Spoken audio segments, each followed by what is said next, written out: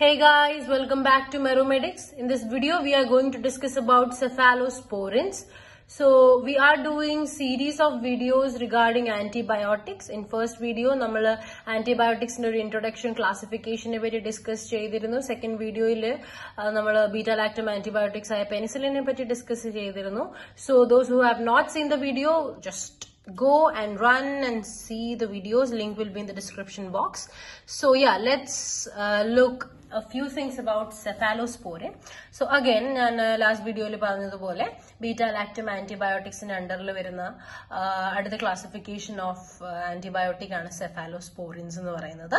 So ചെറിയൊരു definition നോക്കിയാൽ any group of widely used broad spectrum antibiotics so അവിടെ തന്നെ ഉണ്ട്. It is a broad spectrum antibiotics originally isolated as a product of fermentation from the fungus Cephalosporium acrimonium. So, Cephalosporium acrimonium എന്ന ഫംഗസിൽ നിന്നും നമ്മൾ isolate ചെയ്തിരിക്കുന്ന antibiotic ആണ് cephalosporins എന്ന് പറയുന്നത്. Again it has broad spectrum activity so cephalosporin is again a ten mark or five mark question so ഇവിടെ main ആയിട്ട് ക്ലാസിഫിക്കേഷൻ ആണ് ചോദിക്കുന്നത്.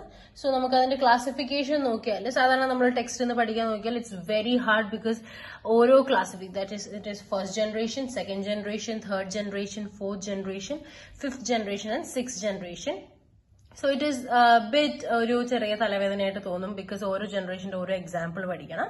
പക്ഷെ ഞാൻ നിങ്ങൾക്ക് ഒരു ഇമ്പോർട്ടന്റ് ന്യൂമോണിക്സ് വെച്ചിട്ട് ഞാൻ നിങ്ങൾക്ക് പെട്ടെന്ന് മനസ്സിലാക്കി തരാനായിട്ട് ശ്രമിക്കാം. So let see first generation നമുക്ക് എങ്ങനെ ഓർത്ത് വെക്കാം. So these are the examples നമുക്കതിൽ നോക്കിയാൽ കാണാം. Cefazolin cephalexin cephalothin cephaloridine and cefadroxil. So ഇതിന്റെ പ്രത്യേകത നിങ്ങൾക്ക് നോക്കിയാൽ ഞാൻ മാർക്ക് ചെയ്തിട്ടുണ്ട്. സെഫ് വെച്ചിട്ടാണ് എല്ലാ സെഫാലോസ്പോറിൻസിന്റെ മെഡിസിൻസിന്റെ തുടക്കം. ആ സെഫ് കഴിഞ്ഞിട്ട് എ വരികയാണെങ്കിൽ it is first generation so that is the clue for first generation any medicine starts with cef and after that A വരുവാണെങ്കിൽ അതാണ് ഫസ്റ്റ് ജനറേഷൻ സെഫാലോസ്പോറിൻസ് എന്ന് മനസ്സിലാക്കുക. നെക്സ്റ്റ് നമുക്ക് നേരെ ഫോർത്ത് ജനറേഷൻ നോക്കാം. ഫോർത്ത് ജനറേഷൻ പ്രത്യേകത സെഫ് കഴിഞ്ഞിട്ട് പൈ വരികയാണെങ്കിൽ സി പി ഐ പൈ വരികയാണെങ്കിൽ that is fourth generation cephalosporin അതുപോലെ ഫിഫ്ത് ജനറേഷൻ പ്രത്യേകത റോൾ എന്ന് വരികയാണെങ്കിൽ that is uh, see ceftibiprole and ceftarolin so there is role in that. ഇവിടെ നോക്കിയാൽ സെഫപൈം സെഫ്പിറോം സോ പൈ വരികയാണെങ്കിൽ അത് ഫോർത്ത് ജനറേഷൻ റോൾ വരികയാണെങ്കിൽ അത് ഫിഫ്ത് ജനറേഷൻ നമുക്ക് തേർഡ് ജനറേഷൻ നോക്കാം. തേർഡ് ജനറേഷന്റെ പ്രത്യേകത വൺ മീ ടെൻ എന്ന് അവസാനിക്കുകയാണെങ്കിൽ that is third generation one O N E one M E me and ten.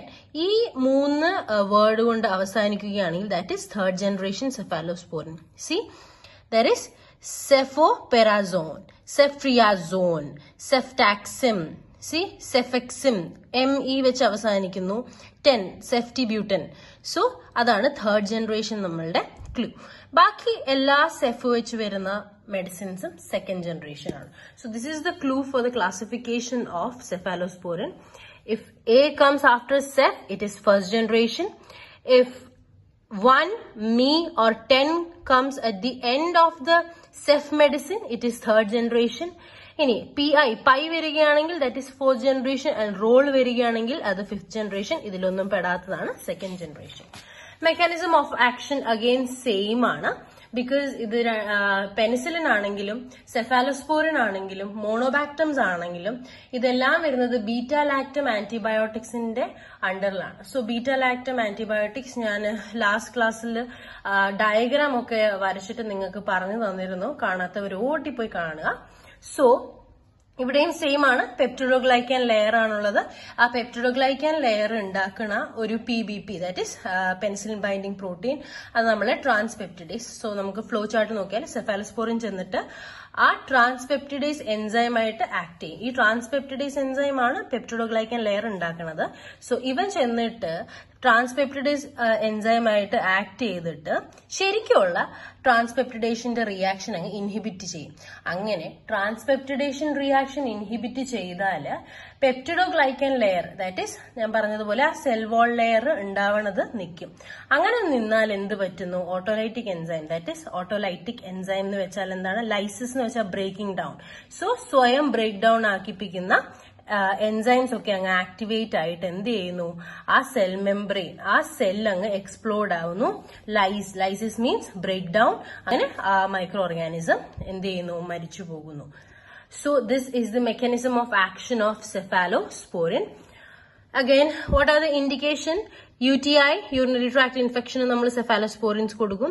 Next infection of gut then R T I respiratory tract infection boils that is abscess നമ്മളുടെ പഴുപ്പ് കുരു ഒക്കെ വരുമ്പോൾ നമ്മൾ cephalosporin കൊടുക്കുന്നു. Next person allergic to penicillin penicillin consume ചെയ്യാൻ പറ്റാത്ത ഒരു സെഫാലോസ്പോറിനാണ് എടുക്കുക meningitis gonorrhoea infected burns tonsillitis these all are the indications example next is adverse effect ആർക്കൊക്കെയാണ് സെഫാലോസ്പോറിൻ റിയാക്ഷൻ എന്തൊക്കെയാണ് നോക്കിയാൽ അലർജിക് റിയാക്ഷൻ വരാൻ that is anaphylactic reactions urticaria skin rashes ഒക്കെ വരാൻ ചാൻസ് ഉണ്ട്. Next G I T gastro intestinal upset G I T upset ഉണ്ടാവുന്നത് that is nausea vomiting diarrhoea next nephrotoxicity it effects kidney as well as disulfiram like reaction so these are the adverse effect of cephalosporin ഇതാണ് സെഫാലോസ്പോറിനെ പറ്റിയുള്ള important ആയിട്ടുള്ള points try to remember learn and yeah please like share and subscribe to our channel and thanks for watching